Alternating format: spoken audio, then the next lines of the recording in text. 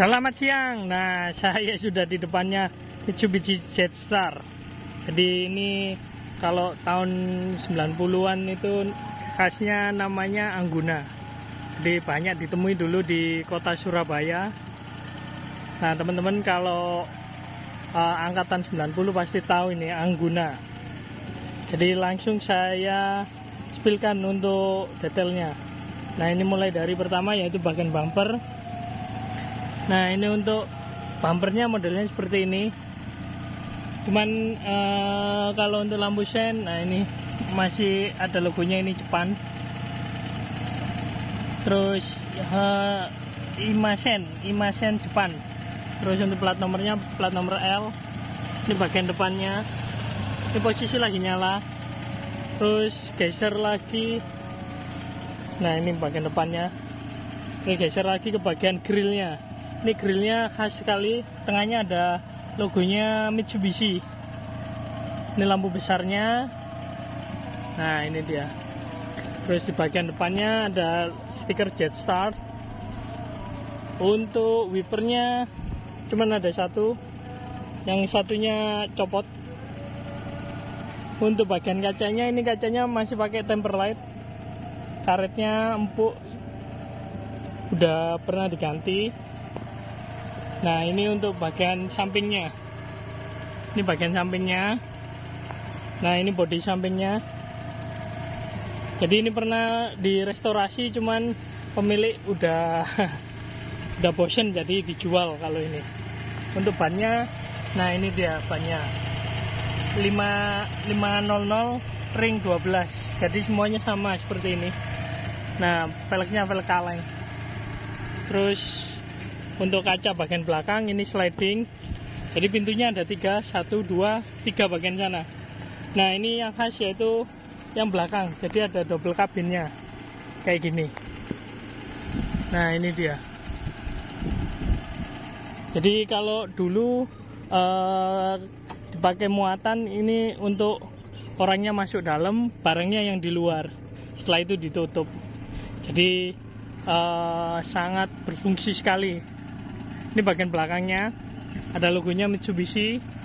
Terus ini untuk stop lampnya Toyoko. Terus ya ini karena mobil lama jadi perlu direstorasi lagi kalau ini. Tapi ini uh, untuk bahannya masih lumayan lah kalau ini. Nah ini untuk baknya. Bak bagian belakang. Sini ada ban serep.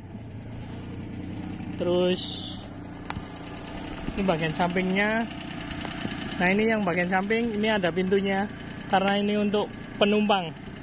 Jadi kacanya juga sama sliding seperti ini. Kita cek bagian belakang. Nah ini pintunya bagian belakang.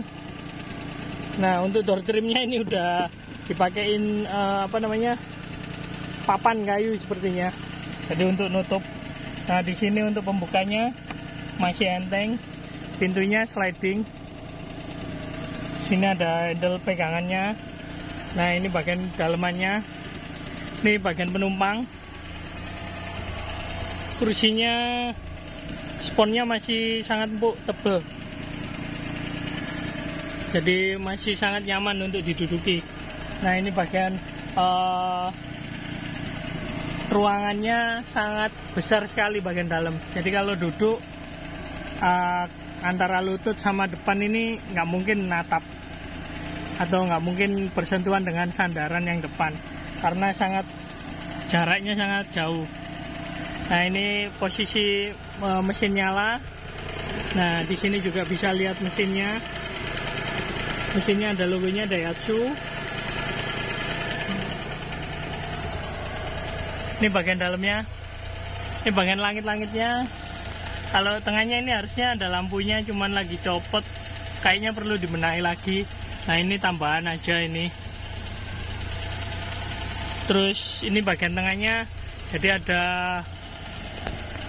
roll roll barnya kayak gini. Jadi cuman bagian tengahnya ini aja.